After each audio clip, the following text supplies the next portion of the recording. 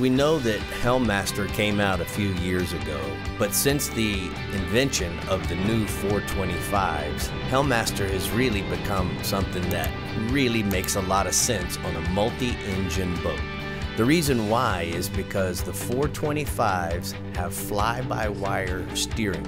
The steering is integrated into the motors themselves. And what this allows you to do is have all the features of set point which Helm Master now has taken it to the fishing levels. So the first one that I want to talk about is certainly fish point.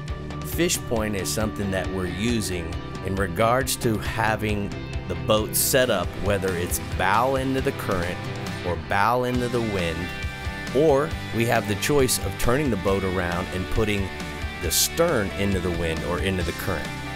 Most of the time, this decision is considered based on exactly how you want your lines to be affected in the fishing situation. So if you're pulling up to a buoy, you might want to use fish point because you want to fish off of the bow of the boat. The other thing that works real well is if you're fishing over a wreck, you can simply put stern into the current and wind and what it does is now it keeps the lines from going into the back area of the boat where you potentially could be in harm's way of the propellers as they're keeping the boat in the most perfect position. The other thing that Helm Master offers is drift point. What I love about drift point is it allows me to fish along the edge of a rip where it can, allows me whenever I'm kite fishing to take the bow and put it into a position that makes the boat drift based on a compass heading.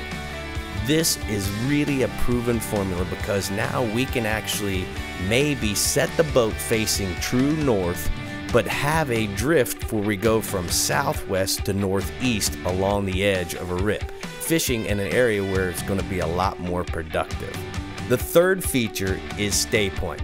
And what stay point simply does is it allows you to stop your boat and hold it into a position while you're waiting for a bridge to open or possibly wait for a dock to open up before you put your boat on the trailer. I don't need a crew of people to help me dock my boat because stay point gives me the independence to have the boat ready when my position at the dock opens up. Now, for you guys that have Helm Master, we have the ability now to have an upgrade kit. That upgrade kit can be installed and you can find out more information about it by simply going to yamahaoutboards.com forward slash Helmmaster. Can you, you know, game changer? It is that a game is like... changer. You know, Brie, the, the thing is that the boats are getting bigger and bigger and we're putting more and more motors on them. Yep.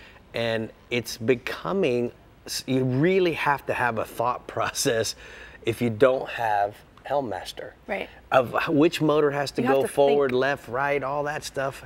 That takes all the thinking out of it for me. And I'm going to tell you, it certainly has changed. Moving a big boat around or going into a much smaller spot with confidence. That's right. what it gives you when you approach the dock. Confidence? Confidence. There's no price on confidence. Nope. No way. Hey guys, Brie here with the Texas Insider Fishing Report. If you like what you saw and want to see more, click the subscribe button, tap the notification bell, and comment below for everything fishing in Texas.